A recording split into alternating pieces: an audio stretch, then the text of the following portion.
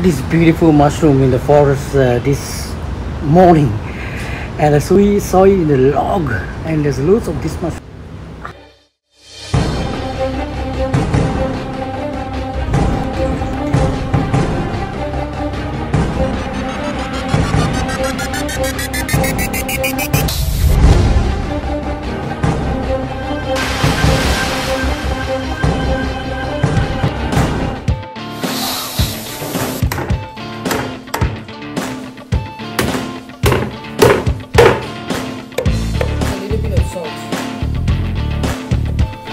Yeah.